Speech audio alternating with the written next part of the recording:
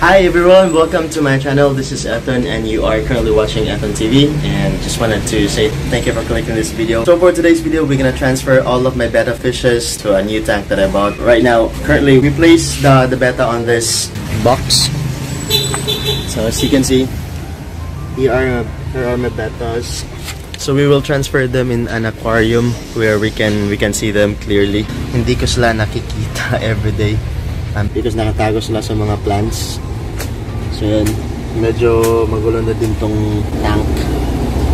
So I got so surprised that there are a lot of beautiful betas na nandito kasi ito yung beta na na breed ko dati. Um, I'm pretty much sure all of these betas right here are all females kasi nga uh, male betas sa pagkakalam ko yung mga male betas hindi sila maaring mag-habitate sa isang sa, sa isang place kasi they are they are territorial and they kill each other. So but anyway I'm gonna share with you how to transfer these fishes onto my tank. Please go ahead and continue watching.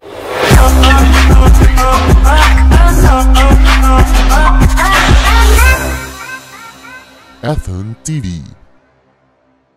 So these are the materials that we bought, no? Um, we have this. I don't know what it's called, but this this is very useful for filtering the the water. Um, minsan ginagamit din to siyang pang fill sa mga pots for the aquatic plants. And of course, bumili ako ng soil. Tapos ito yung aquarium. I bought this for 1,080. What I like about this aquarium is that on this edge, parang smooth siya, parang wala siyang edge and hindi siya nakakatusok or it's safer compared sa ibang aquarium. We also have this one. This is the light that we will be using. Um, this is a LED light. Papatong natin dyan upang mabuhay yung mga plants natin. And also to give lights to the to the aquarium. Of course, very important na meron tayong filter. So of course, it's very important na meron tayong filter. So we have this one. Um, I bought this for 700 pesos. So we're gonna set it up. Um, I'm so excited actually. Um, meron akong mga biniling plants na nilagay ko muna dun sa labas kung saan nandun yung mga fish upang hindi malanta or hindi mamatay kasi um, I was actually planning to, to set this up tomorrow but parang na-excite ako. So we will do that right now. Um, so unang gagawin natin, no, we will put the soil sa aquarium. Um, yung aquarium pala natin, nilinis na natin yan. So ito yung soil, ilalagay natin dito sa aquarium. So let's do that. Lagay natin yung soil natin dito sa ating aquarium. Ito yung soil. Ah,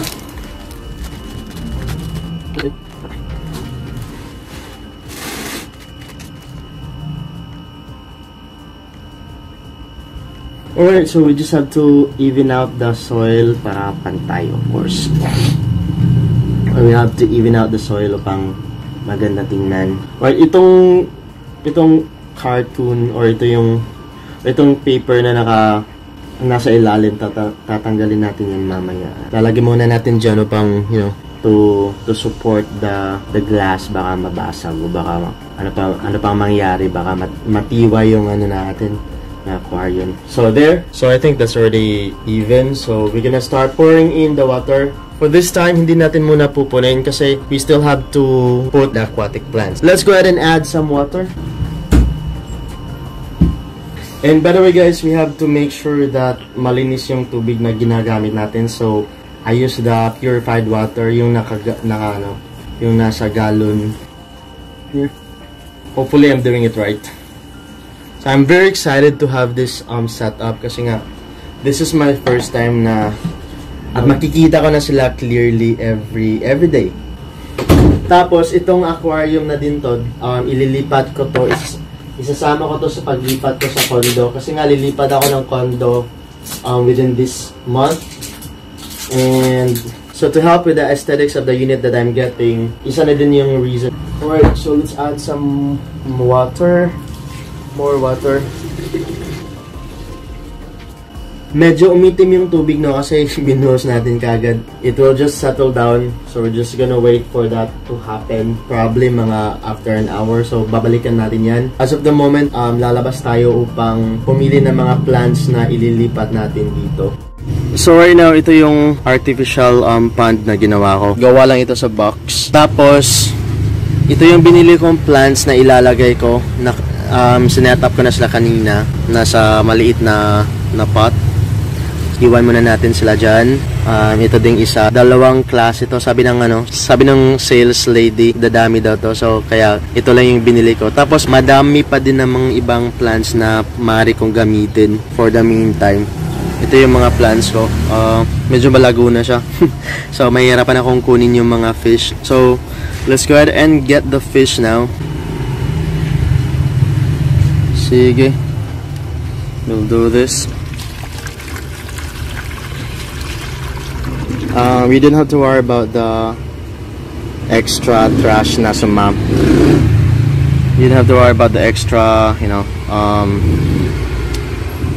mga lumot, tsaka mga halamang ano, dumi. Kasi when we transfer the one to our aquarium, mafi-filter din naman yan.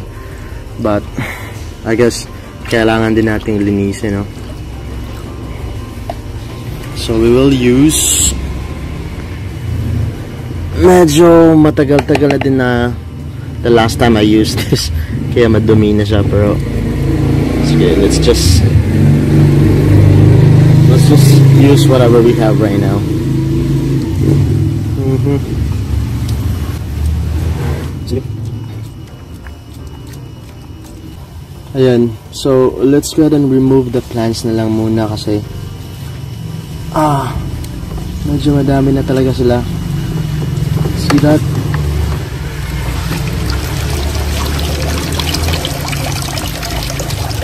Whoa! Dami na nila. Baka may mga fish na. Sana wala namang fish na na, ano, na trap dito. Anyhow. Ayan, medyo dumumi na siya kasi uh, nagalaw natin yung bottom, no?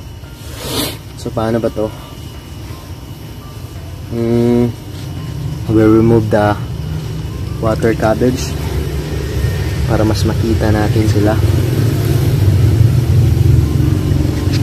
So, the way I the way I keep this pond pala, hindi ko pinapalitan yung water. Pang parang I made it like their natural habitat na may tumutubong halaman. So far naman, okay naman yung naging outcome kasi nga ang tataba nila tapos hindi naman sila namatay. Um, kaso nga lang, ito, nung ginalaw natin yung bottom, dumilim yung tubig. So, di ko na sila makita. But anyway, um, babawasan natin yung water upang mas makita natin sila. So, let's do that. So, ayan, I found a way na ma mabawasan yung tubig. Ito, may butas na yung pump natin so kaya hindi gumagana kanina. Pero, ginawan ko ng paraan upang upang gumana siya. Tapos gumana naman. Ayan, um, it's starting to reduce the water from this tank. Hindi ko talaga alam kung ilang fish ang andito kasi sa pagkakaalam ko, dalawang batches to eh um, ng breed. I mean, dalo dalawang batches to ng pag-breeding ko ng male beta ko tsaka isang female. Kung sa ano, kung sa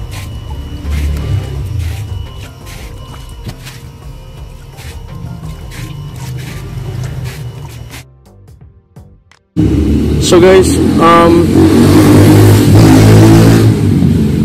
So guys, just an update. Here are the only betas that I was able to recover from that tank and I was so surprised na konti na lang pala sila. I don't know what happened. Alam ko madami to sila eh, pero di ko alam. May mga may mga betas na hinahanap ako, yung mga betas na normally nagso-surface na lagi kong nakikita pag nagfi-feed ako sa kanila. But di ko di ko makita this time. So I I was thinking na baka namatay or natabunan ng mga kung ano man. Or like maybe during the that time pang tinangay ng hangin. Hindi ko alam kung anong nangyari. Ang konti na lang nila there, there are only 2, 4, 6, 8 10, 11 there are only 11 of them left but nevertheless we're still gonna continue and have them transferred to our aquarium so here we go um by the way yung mga yung mga aquatic plants na um, napili ko, um, konti lang. Hindi natin masyadong dinamihan kasi um, we'll make sure na enough yung space ng mga mga beta. Tapos hanap pa ng ibang ways na mapa-improve natin yung aquarium natin. So let's go. So as you can see, nag-subside na yung nag-subside na yung um, mga dumi na dala nung pagbuhos natin ng tubig. Tapos may mga lumutang doon sa ano, surface which we have to remove. I think kulang pa yung water natin so let's go ahead and add some more water.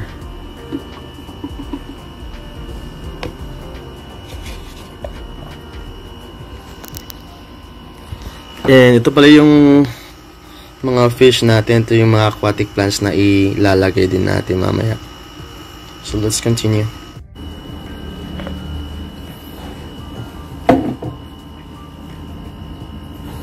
Let's add more water.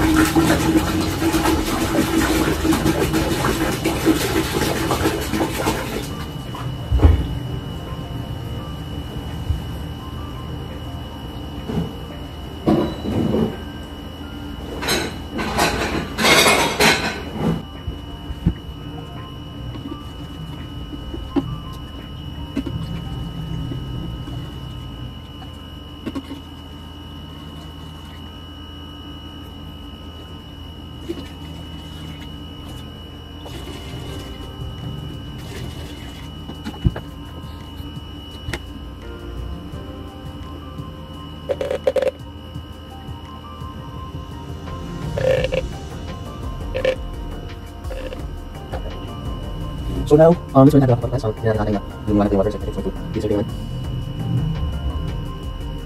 Siguro lang dito. Let's transfer the yung mga pot natin.